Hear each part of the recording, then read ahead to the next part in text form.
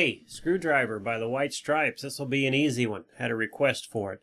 Starts on an A which is uh, fifth fret. Hit it twice, and then you're going to move down to the G, which is the third uh, third fret power chord.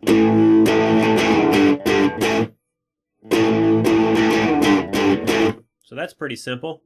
You do hit the open E a little bit.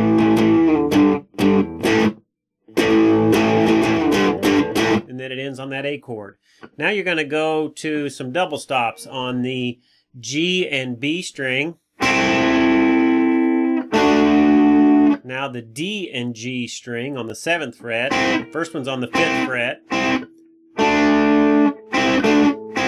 So you go back and forth. So from the G, B on the 5th fret to the D, G on the 7th fret, back to the G, B, 5th fret,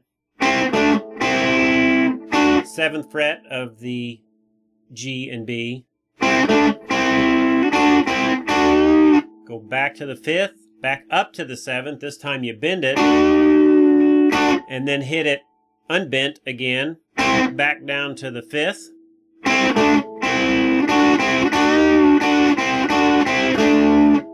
And then it goes back up to the seventh, back down to the fifth, and then ends on the D G, 7th fret.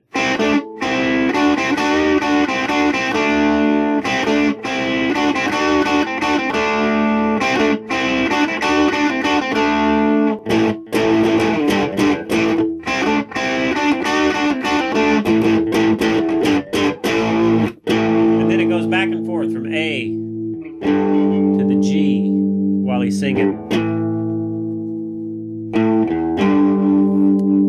Just on those two chords a lot.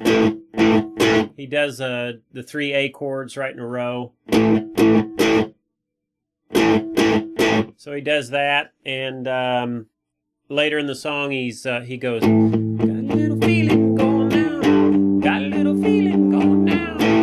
and forth.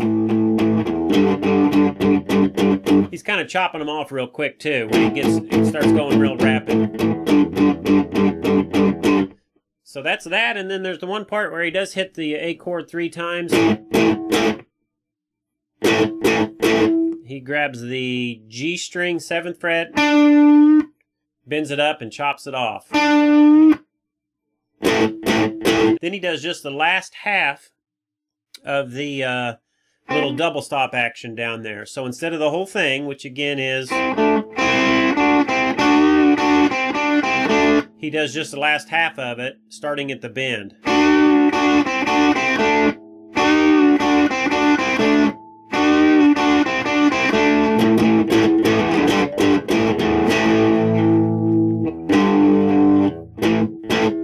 And then it ends with him doing that, and then finally